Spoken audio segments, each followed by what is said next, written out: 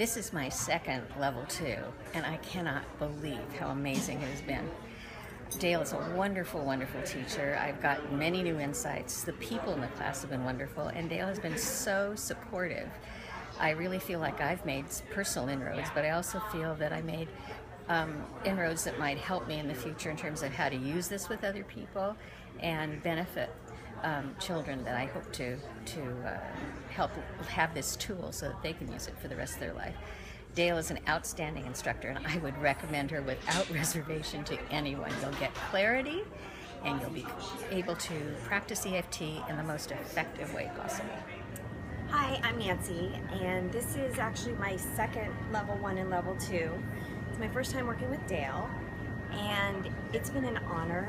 Um, I just, it's been so invaluable to me this time, um, and Dale just brought something completely different to the table, and my perspective on EFT has um, matured more, and I feel like I've gained more skills even just with the different practitioner.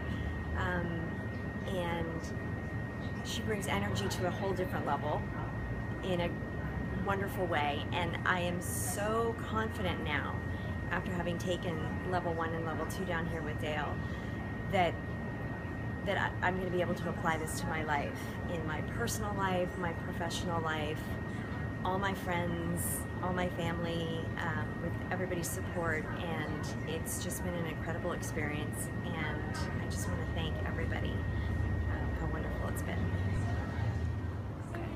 So, um, what I want to share about Dale's level one and level two is just that um, I'm here, I'm a therapist, I'm taking level one and level two for the second time, and um, it's been really valuable for me very different than the other teacher I had, and I've been making all kinds of connections um, about EFT and the material and clients that I currently see.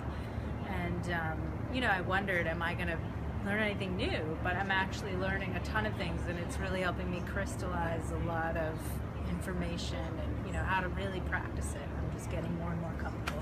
So it's been great.